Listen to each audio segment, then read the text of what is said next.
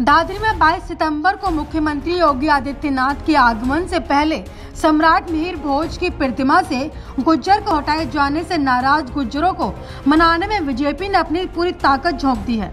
दिवाली के बाद बीजेपी मेरठ में गुज्जर प्रतिनिधि सामाजिक सम्मेलन करेगी। इसमें मुख्यमंत्री योगी, प्रदेश महामंत्री सुनील बंसल, प्रदेश अध्यक्ष स्वतंत्र सिंह देव और उप मुख्यमंत्री केशव प्रसाद मौर्य में से किन्हीं दो के आने की बात कही जा रही है।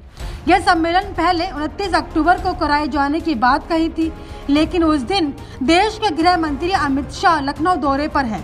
इसलिए सम्मेलन की तारीख को आगे बढ़ा दिया गया।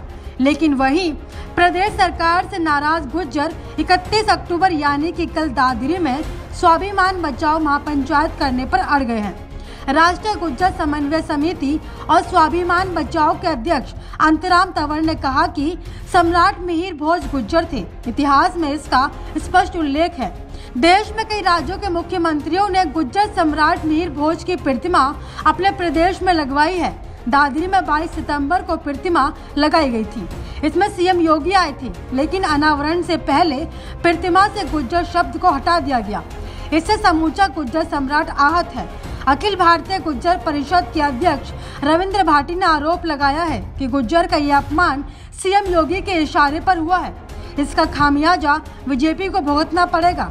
आपको बता दें कि पश्चिम उत्तर प्रदेश में जाट और गुज्जर अधिक हैं। गुज्जरों का दावा है कि प्रदेश में जाट एक दशमलव आठ फ़ीसदी है, जबकि गुज्जर एक दशमलव अठहत्तर फ़ीसदी है। पश्चिमी उत्तर प्रदेश के साथ एनसीआर में भी इनकी बड़ी आबादी है। साथ ही किसान आंदोलन को लेकर भी जाटों में नाराज़गी है। दोनों की नाराज़गी चुनाव पर असर डाल सकती है। News desk, V news.